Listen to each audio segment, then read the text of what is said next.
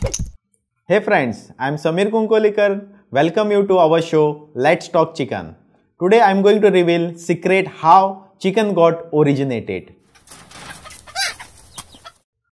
The chicken origins lies in a group of dinosaurs called theropods around 230 million years ago. They evolved over the years and eventually resulted in a genetic line that produced Tyrannosaurus rex, is also called as T-rex. The modern chicken as we know is descended from several of four known species of wild jungle fowl, Gallus.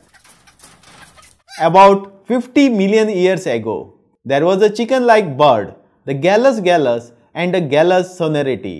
It was genetically close to chicken but wasn't a full-blown chicken yet.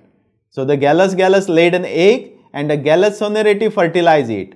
But when the genus from the Gallus gallus and genus sonneratii fuse, they combine into the new way creating mutation that accidentally made baby different from its parent.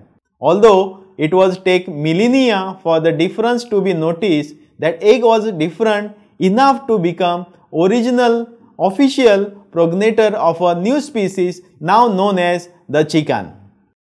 So it's more than likely that today's chicken have multiple ancestors.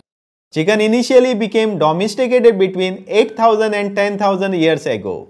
There is also genetic evidence to suggest that there was simultaneous but independent domestication events in different parts of Asia and India. And that is how the chicken we see today was evolved. Hope you like the information I shared today. For more, watch us our next episode of Let's Talk Chicken. You.